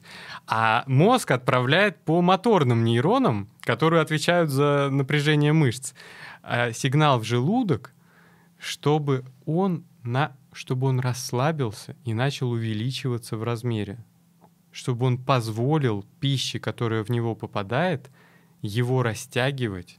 Потому что желудок изначально, он довольно маленький, если он пустой. Угу. И вот когда, если мы в спокойном состоянии, эта система работает правильно, пища попадает в желудок, и он сам заранее растягивается, он готовится принять пищу, которая в него попадет, чтобы, ну вот представь себе, есть люди, которые утром не могут э, нормально позавтракать. У меня такие знакомые есть, которые говорят, я не завтракаю, потому что меня я там, если я начинаю есть, меня выворачивает. И я такой думаю, вот если мы вот это Мы знание у напряжены, нас есть, напряжены, напряжение вот то это вот. получается желудок не расслабляется. Если он не расслаблен, у него объем может быть 300-400 миллилитров. Это одна чашка. И дальше все, он не дает, как бы, получается, человек переел от 300 миллилитров. И дальше в него уже не лезет. Соответственно, надо бороться с хроническим стрессом. И дальше, соответственно, желудок начинает буквально у нас, если один верхняя часть желудка увеличивается, то нижняя начинает буквально жамкать, вот так вот до конца сжимается. Тут оно просто постукивает немножко, чтобы вот мы могли э, нормально переварить пищу. И оказалось, ну вот почему надо, например, до жидкости пережевывать. Потому что э, выпускной сфинктер э, у желудка в основной фазе пищеварения открыт на 3 миллиметра. То есть он выпускает все, что меньше 3 миллиметров. Соответственно, жидкость, она потихонечку выходит из него сама. Но все остальное, если мы проглотили огромные куски, то желудку это жамкать не пережамкать. Потому что изначально пищеварение не было устроено так, что мы убегаем от тигра и при этом что-то еще хватаем с пальмы. Как говорится, душа висит на нитке, а думает о прибытке. Не, ну И то есть ещё- это вот эта тема же старая помнишь, прозвище, ну не прозвище, господи, я уже заговариваюсь. Поздно тут у меня в Тайбэе, в Тайбэе, все уже, даже Тайбэй с Бангкоком путаю, все понятно. Ага. Короче, да, э, смотри, э, ты помнишь старая, может, поговорка такая, то, что еду нужно пить, а воду есть. Ну, то есть, как бы, что вот ты глотаешь тоже постепенно, не там жадно, там, там из 5-литровой канистры прям выливаешь ее в себя, там, не успевая проглатывать, там, да, и не съедаешь очень быстро, а стараешься там более пережевывать, спокойно есть, там, да, там. А вот я, например, всю жизнь ем довольно быстро, почему-то китайцы считают, что это типа хорошо. Ну, то есть я помню, что по китайской истории а, нормально. Но при этом, как бы, это говорит, что у тебя типа здоровый организм, и ты типа быстро все перевариваешь, у тебя там хороший метаболизм и так далее. Но в целом, но считается, В что... принципе, да. Ну да, считается, что лучше есть не, ну, более вдумчиво, да, там правильно я понимаю. Ну, лучше именно не просто там, как э, типа 20 или 30 раз пережевывать. В зависимости от пищи, просто чтобы она хорошо смочилась во рту, чтобы она уже была мягкая, чтобы ну, она попала в желудок, и дальше уже, ну, как бы она жидкая. Осталось только добавить туда, вбросить необходимые э, ферменты, чтобы переваривать, усваивать там жир, белки, углеводы, и дальше оно все уже пошло усваиваться. И главное, понимаешь, опять же, мы все разные, и у кого-то вся эта система, ну, крепкая, она хорошо работает, и им нормально. А огромное количество людей, у меня, например, половина одногруппников университет закончила с гастритом. Ну, как бы, и, соответственно, этим-то людям нужна помощь, нужна поддержка. И оказывается то, что, например, а, вот э, у китайцев же еще есть то, что холодное они не едят, они холодное за пищу вообще не считают. Ну, это да. Э, я- то Они есть, говорят то, что вот у тебя в каком-то видео было то, что есть регионы, ты в, в кафе, там, в ресторанчике просишь э, чая, а тебе приносят горячую воду, чтобы ты прогрел желудок перед едой. Ну да, да, да, да. Это вообще такая, вообще такая до, долгая шуй по-китайски. Побольше пей водички.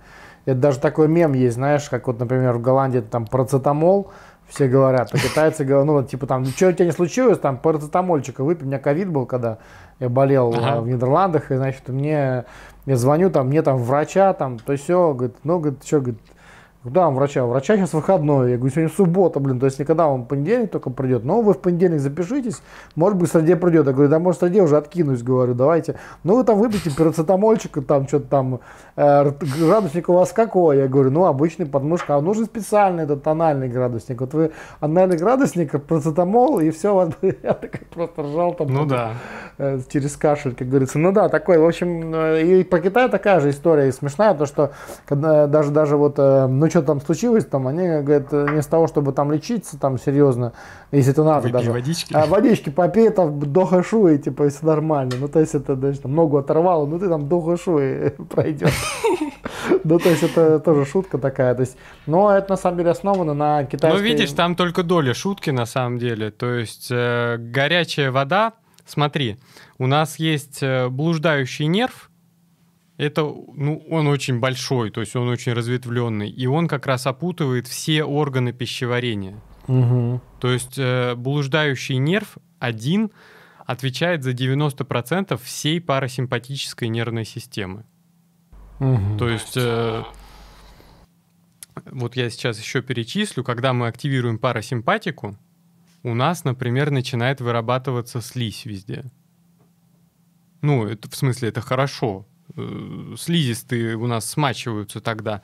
У нас глаза не сохнут, у нас в носу слизь вырабатывается, чтобы не пересыхали слизистые. То есть слизистые могут пересыхать от стресса, потому что парасимпатика не активна, а все эти железы работают именно во время активации парасимпатики. И, соответственно, у желудка защитный слой, который защищает его от кислоты. Это тоже слизь. И эти клетки работают тоже в ответ на парасимпатику. В легких у нас бронхи сужаются Мгм. в ответ на парасимпатику.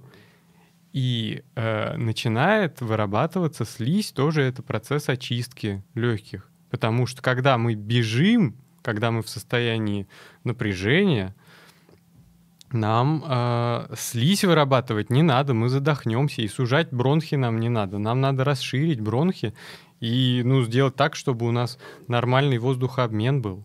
А если мы расслабились, если никакая опасность нам не угрожает, то можно заняться восстановлением. И что ты думаешь? Это же еще не все. Парасимпатика отвечает за процесс обучения Ого. и запоминания. Обучение и запоминание невозможно без активации парасимпатики. Ну, то есть, если ты сильно напряжен, в стрессе, у тебя идет, получается, гораздо хуже усвоение информации в целом. Да, у нас, э, если, парасимпат... если симпатика очень активна, э, у нас э, будет очень узкий фокус внимания. То есть мы будем плохо сосредотачиваться. То есть мы, нам будет тяжело сидеть на месте. То есть вот то, что, помнишь, вот эти вот все разговоры про то, что чай помогает выполнять какую-то сосредоточенную, спокойную работу. Вот, сидишь за компьютером. И оказалось то, что если ты совместишь чаепитие с дыхательной практикой, Мгм. То у тебя парасимпатика улетит в потолок, и эту систему невозможно обмануть. Я вот специально, у меня есть, есть такое приложение, я думаю, можем, можем про него рассказать. Ну, просто сказать, что оно существует. Велтери называется. Это ро- российские разработчики. А, Они... Это круче, чем фитнес-браслет, да, то есть фитнес-браслет э, очень мало параметров анализирует, а Велтери анализируют вариабельность сердечного ритма. То есть это расстояние между ударами сердца. Это тебе надо браслетик Нет. носить, да? То есть тоже наш браслетик, отдаешь его А приложение. вот как раз, э, к сожалению, не браслетик, а у Велтери или они анализируют по камере, то есть прикладываешь палец к фонарику и камере, и они на просвет э, видят, как сокращается именно пульс. Э, бьет, либо... Технологии надо купить 21 века какие-то уже. Да, ну, я просто очень давно с этим приложением знаком, и там науки мама не горюй. То есть э, вариабельность сердечного ритма это очень информативный показатель. И я использую с спортивными со спортивным кардиомонитором. То есть э, вместо того, чтобы каждый раз э, палец прикладывать, тут все-таки точность, точность нормальная, но это тяжело следить постоянно. Я ленивый, я купил хороший кардиомонитор, и у него есть э, именно эти электроды.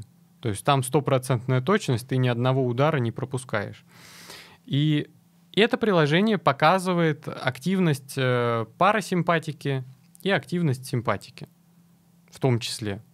И я специально делал замеры, вот неделю готовился к этому нашему разговору, э, и замерял до чаепития, после чаепития.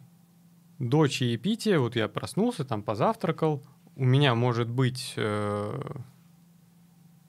например, высокий уровень стресса, я не знаю, 80% стресс. Это, они уже переварили эти данные и тебе выдают как бы как э, для домохозяек чтобы ты понял, вот у тебя стресс. Ну, сейчас вообще последние более уже чем два месяца э, психиатры, я так понимаю, и прочие психоаналитики сейчас очень много зарабатывают, я думаю, и все, кто помогает справиться со стрессом там, и вот это. Ну, это тут хотя бы ты можешь измерить, то есть это точно, понимаешь, повторяемость есть. Если ты через, я не знаю, через каждые пять минут будешь мерить, ты получишь те же самые данные. То есть там есть сырая статистика, пожалуйста, можешь анализировать сырые параметры вариабельности. Но есть выводы, которые они для тебя сами делают. Вот стресс, фокус и энергия. Вот они называют, соответственно, энергия — это вот насколько у тебя обе, и симпатика, и парасимпатика активны. Они всегда в организме одновременно работают. То есть не, не, не бывает такого, что одна выключилась, другая работает. Но самое, значит, самое главное, половину, чтобы половину был организма баланс. парализовало. Я правильно а? понимаю, что это должен быть баланс. Самое главное, чтобы это, да. то есть у тебя всегда и то, и то должно быть активно. Ты не должен быть, то есть, ну, если тебе там, грубо говоря, ты спишь, это понятно, ты спишь. Но если ты как бы вот какой-то деятельностью занимаешься, то есть ты должен быть, а, грубо говоря, одновременно сконцентрирован в чем-то и собран, но ты не должен пересобран, ты не должен перенапряжен, ты должен быть на Ну, соответственно, понимаешь да? как? Если симпатика слишком активна, а парасимпатика пассивна, это просто будет, ты, собственно, это и будет то состояние, когда ты бежишь от тигра. Ну, Тебе да. надо в норме быть, хотя бы в балансе. А ты ничего с этим поделать не можешь. И что ты думаешь? Пью зеленый чай, ну, соответственно, в нем эльтианин. Я никакого дополнительного эльтианина для этих экспериментов не использовал. Угу. И дышу. Соответственно, вдох. Э, можете, со- соответственно, в этих в дополнительных материалах посмотреть. Это называется физиологический вздох Эндрю Губермана. Это нейрофизиолог американский, который вот открыл скажем так, разработал, по крайней мере, эту методику. Там, чтобы активировать парасимпатику здесь и сейчас быстро, он предлагает э, такое. Нужно вдохнуть, еще вдохнуть и выдохнуть. Да, вдохнуть. Но по сути это, это дыхательные практики сродни йоговским практикам, в том числе э, пранаямам. Ну, то есть э, да. надо расправить легкие, чтобы вот прям мы почувствовали, что они расправились. И длинный-длинный спокойный выдох. За счет расправления легких, вот прям до, скажем так, чтобы ощущение было, что они расправились. И спокойный длинный выдох, это активирует парасимпатику само по себе, без чая. Но с эльтианином одно накладывается на другое, и за полчаса чаепития можно... Вот у меня каждый раз стресс падал, фокус поднимался на 80%, парасимпатика, если было, например, 20 э, на 40, 40 симпатики, 20 э, парасимпатики. Бац, 40 на 20. Или они там стало 50 на 30, то есть они и сумма выросла, энергии стало больше, физически больше стало энергии и парасимпатика активизировалась. И каждый раз, каждый раз, когда я это делал, ко мне какие-то приходили разные новые. Вот всю эту лекцию я придумал во время чайных медитаций. То есть я ничего не делаю, я расслабился, и у меня начинают пазлы в голове соединяться. Ну, то есть как бы оказалось то, что обучение и запоминание невозможны без активации парасимпатики. И я начинаю, сажусь за текст, и, и ты прям начинаешь ухватывать разные детали, несмотря на то, что ты на них не сосредотачиваешься. Это вот то самое, типа, делать усилия без усилия. Угу. Ты, если в правильное состояние вошел, то э, это тебе просто, оно само за тебя все сделает. И оказалось, что если мы пьем чай, с эльтианином и правильно дышим. Вот этот вот вдох и длинный выдох. Я это придумал, когда я дул на чай. То есть, ну, чай, чайная пара, да, я переливаю. Так, то есть ты можешь сказать, у нас пара. сейчас inventor of new uh, technique of consuming of tea, да, то есть новый, ну, да, да, новый да. способ потребления чая. Соединяем практики пранаяма, Вимхофа, там, э, что еще там у нас, да? Ну, то есть вот есть чайная пара, длинная мензурка, да, да. и пиала. Соответственно, переливаешь из мензурки в пиалу, глубокий вдох, аромат почувствовал, отложил в сторону и начинаешь дуть на чай. И я просто такой, я, мне лень. Э, О, Женя, все, короче, технология это не ну, мензурка, только да, это сянбэй Да, я вот на друзьях, друзьям своим показывал, как это делать. И просто и мне лень дуть вот так на чай. Ну, если ты один раз вдохнул, ну, то ты выдохни там так, чтобы у тебя выдох там одну минуту длился.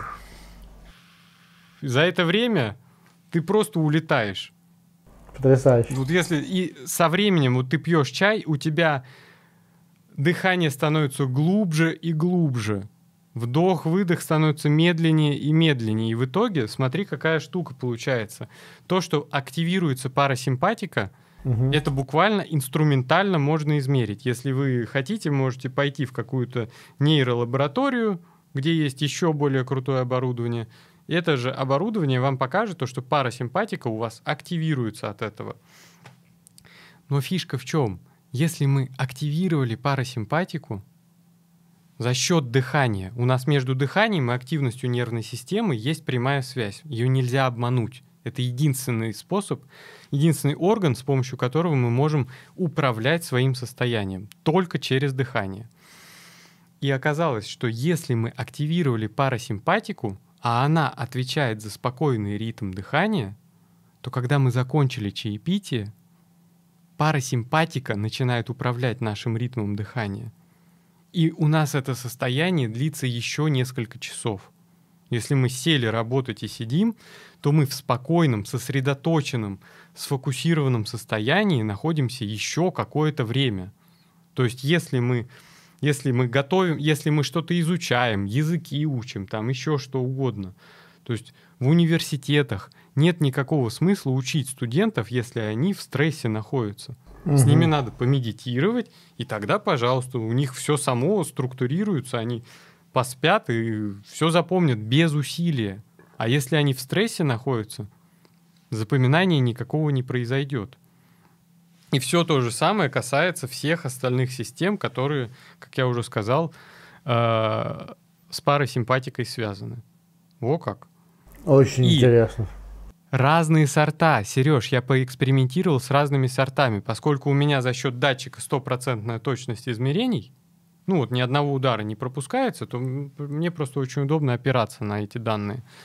А, пробовал а, зеленые чаи, там Хэйчухао, там еще мой любимый, а, разные зеленые, работает без, без каких-либо, каждый раз. Ну что ты думаешь? Выпил шупуэр. Дышал, все точно так же дышал, но я прям пью чай, дышу. И, ну, когда ты часто делаешь дыхательные практики, ты уже можешь по своему дыханию понять, что с тобой происходит. Я чувствую, что что-то не то, короче, не работает. Ну, ну в шупуэре нет эльтианина, он сферментировался весь. Там Ах остался я. только кофеин. И я замеряю, а стресс и фо, ну, стресс, э, фокус, э, энергия остались на, те, на том же уровне. То есть если мы нахлобучили кофеина, а мы и так были в состоянии стресса, то мы не сможем за счет дыхательной практики даже это перебороть, потому что мы химически себя, ну как бы в такое состояние ввели, когда у нас активна симпатика. Угу.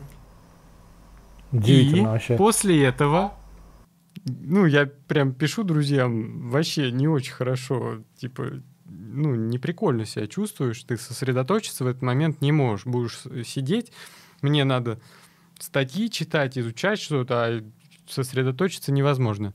Я говорю, 200 миллиграмм эльтианина в капсуле, нам же нужна, ну, повторяемость, да, управляемость этим процессом. Принимаю эльтианин, жду полтора часа и немножечко подышал. Ну, там, я не знаю, 10 вдохов-выдохов. И? Улетела в потолок. Офигеть. Ну, то есть я могу показать графики, просто это не очень удобно. Э, наверное, не знаю, можно скриншоты приложить. Ты их покажи общем, сейчас, демонстрацию экрана сделай просто. Или далеко? Сейчас, сейчас попробую. Сейчас. Чтобы у нас оно сразу записалось, мы потом не мучили нашего монтажера. Давай, давай, я заранее в OBS сцену создал. Вот так видно? Видно, вполне себе, параметр замера. Вот эти вот, вот скачки. Отлично. Вот это, собственно, сырая статистика. Видите, SDNN э, это вариабельность ритма. 28 это очень мало. Угу. И вот э, это вариабельность, то есть это не пульс, а это расстояние между ударами.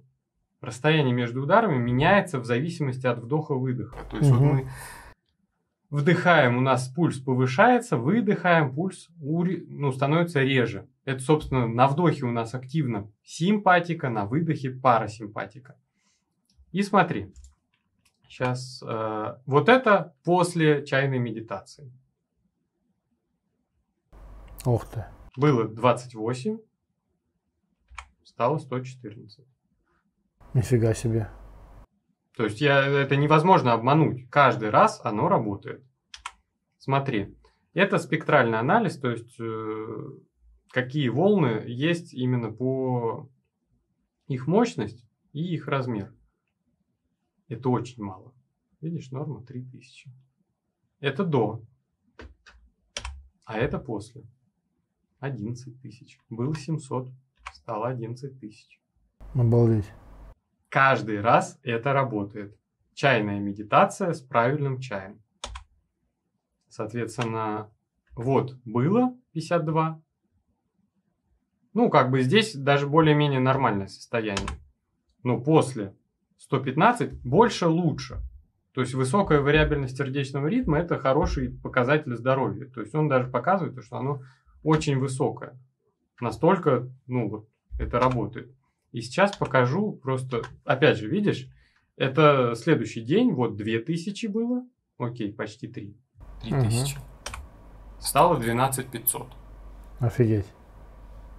То есть это, ну, буквально измеряешь, я не знаю, как... Ну, то есть у тебя это повторяющийся, повторяющийся абсолютно был э, да, такой... Да ритуал, да, можно сказать, эксперимент, который доказал на практике, что это там не случайность какая-то там, а что это действительно каждый раз у тебя получается одинаковое абсолютно.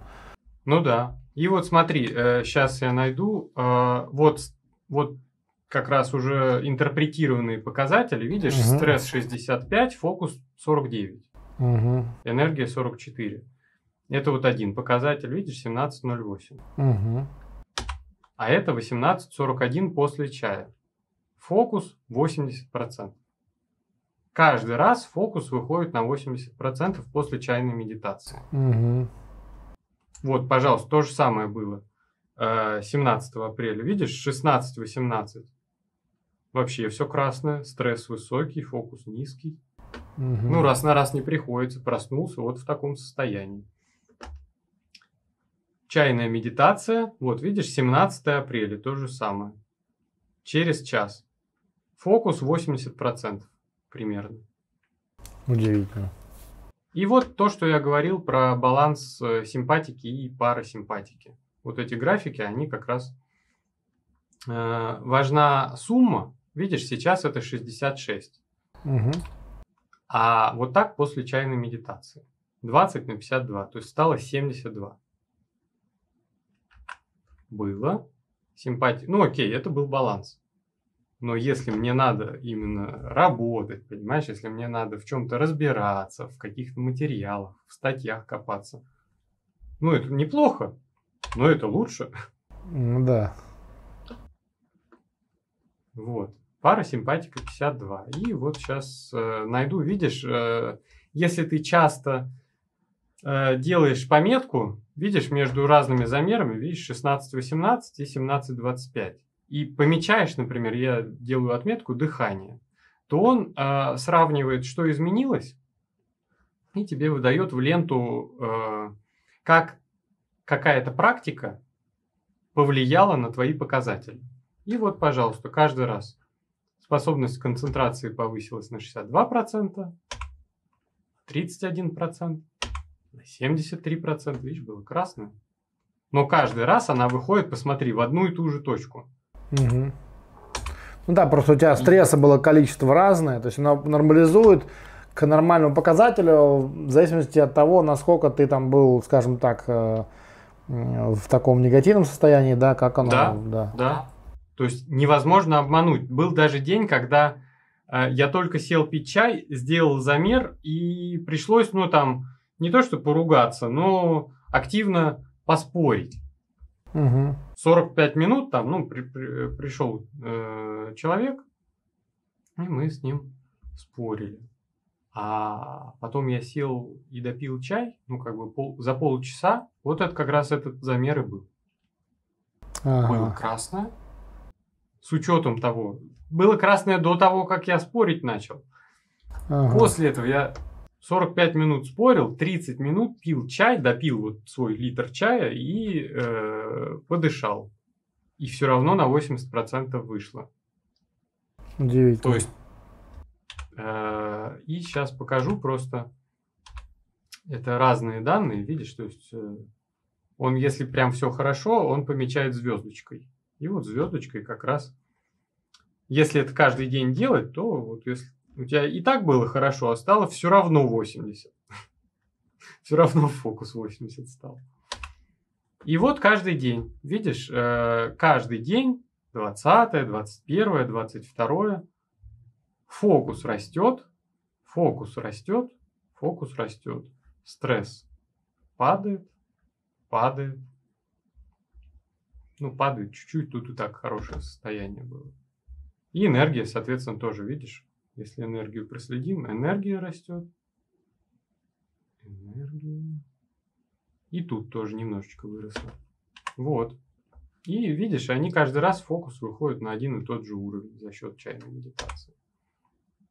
По-моему, вот пора писать раз... Э, докторскую диссертацию по чайной медитации. Ну, вот спрашивали там про датчики, как вот э, про тренды, помнишь, мы с тобой в начале еще сказали, то, что есть все-таки определенная тенденция. И вот L-тианин, кофеин все-таки это больше стимулятор, а L-тианин больше, вот он расслабляет. Соответственно, если вам нужна деятельность, когда вам надо расслабиться или просто выйти из хронического стресса, чайная медитация – это прекрасный способ. Вот, пожалуйста, а, было 87% стресса. Ну, то есть высокий стресс. 31 симпатика, 16 парасимпатика. То есть еще и сумма достаточно низкая. Бац. Стало 38 парасимпатика, то есть и сумма выросла, видишь? Угу. И э, парасимпатика стала активнее. Но симпатика, она не в ноль уходит, она вот в 20 каждый раз. Не, ну она тоже нужна же, то есть же не может быть. Я так понимаю, что интересно, а во время сна, ну как вообще? Угу. Как оно во время сна, это соотношение? Что? Как во время сна работает это, это отношение, соотношение? А, во время сна это в основном про Ну, смотри, перед сном э, даже нейрофизиологи советуют э, L-тианин э, выпить можно капсулу, чтобы расслабиться. То есть, если человек в стрессе, угу. он просто расслабиться не сможет. Так-то, по идее, все, все зависит от ресурса организма. Если ресурс высокий, то даже стресс все равно человек заснет. Или усталость, например.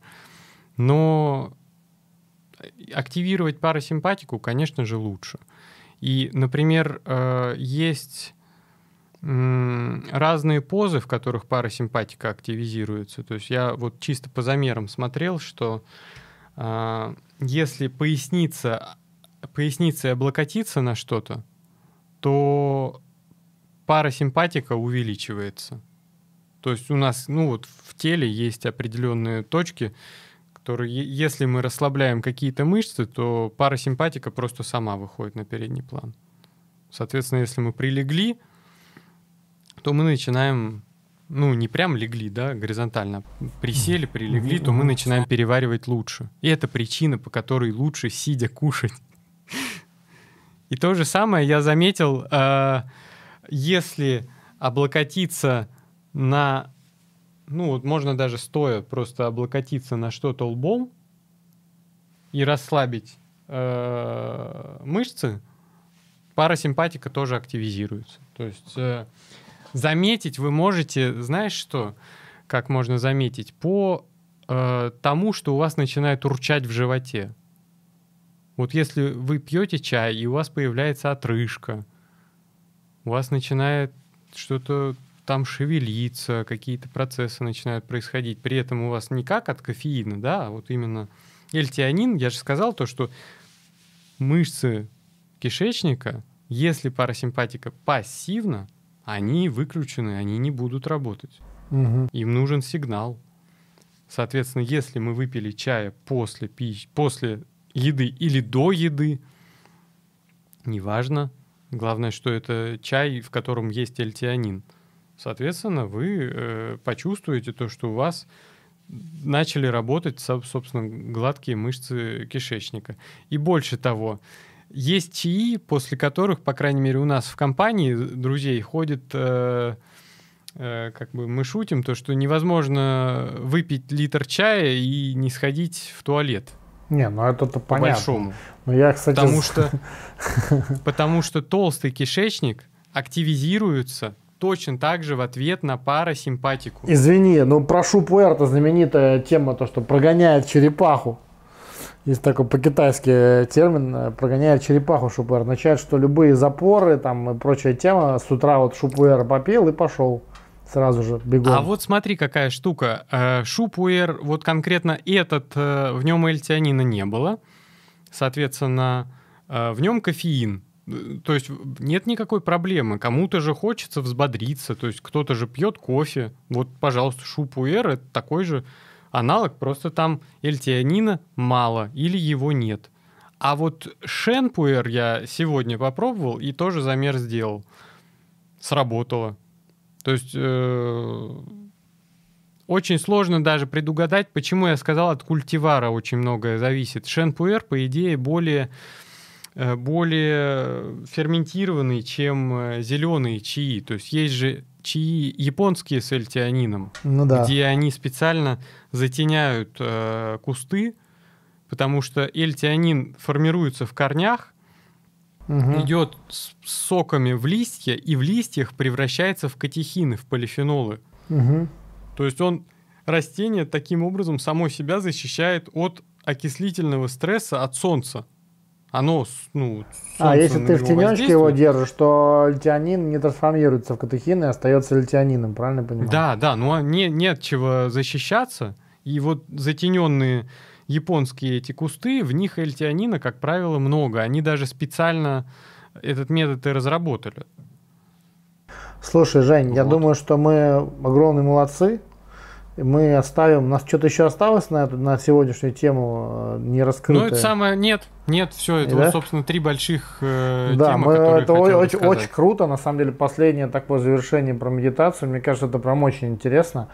А, Друзья, обязательно в ссылке в описании э, Женя оставит э, подробную информацию. Да, Да, оставляйте ваши плейлист вопросы. на... И попробуйте поэкспериментировать. Попробуйте поэкспериментировать, потому что мне кажется, что это очень круто. Я думаю, неосознанно мы все так или иначе это делали, потому что я вот тоже начитавшись в свое время Вимхофа и наслушавшись, и просто то, что занимался йогой уже столько там 15 лет нерегулярно, э, я вот тему дыхания уже понимаю тоже, но не всегда хватает на это какой-то силы воли. Поэтому надо, на самом деле для хорошего дыхания, вот действительно вот отличная тема, то, что может и совмещать с чаепитием, когда ты снова уже так или иначе успокаиваешься. Но и также на самом деле про дыхание я замечал, даже если ты просто вот, неважно где ты находишься, идешь, стоишь, лежишь, засыпаешь, просто хотя бы 10-20 вдохов-выдохов можешь себе позволить сделать как надо, это тоже работает, я это замечал. Но если с чаем, так еще и вдвойне получается. Ну да, да. И главное просто вот насчет кофеина, если переборщили, Или просто хотите э, расслабиться там перед сном. Если уж нейрофизиологи советуют. Я, например, пью эльтианин отдельно. То есть, окей, я пью чай, но вечером я просто не буду производителя показывать. Э, вот, пожалуйста. Эльтианин 200 миллиграмм. Ну, есть 100 миллиграмм. То есть э, знал бы прикуп, жил бы в Сочи. Сколько конференций прошло, я очень нервничал перед конференциями. Ну, знал бы, уже тогда был. Будем, Не пить, э, будем пить натуральный антибайча и получать нужное количество литианина натуральным путем. Да, вот. да. Все, друзья, в общем, огромное вам спасибо за просмотр. Женя, спасибо тебе огромное за тоже интереснейший рассказ. Мы обязательно будем продолжать тему науки от чая. Я думаю, у нас уже как минимум две темы сложилось. Это пообщаться с нашим другом из Австрии, да, да и пока, пока покопаться про Габу на тайских ресурсах, тай, тайваньских, вернее, может быть. Так что, может быть, мы что-то новое найдем и узнаем. Спасибо огромное. Друзья, всем пока.